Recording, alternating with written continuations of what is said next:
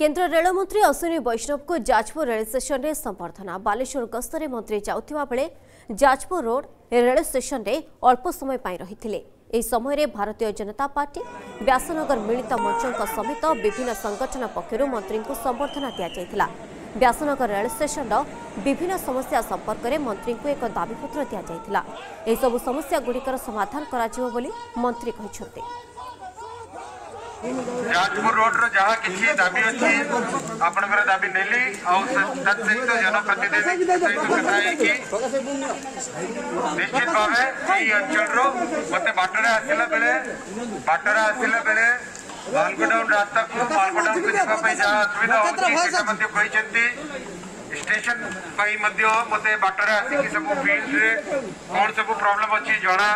जन से सब प्रोब्लेम को कमी सल्व करवा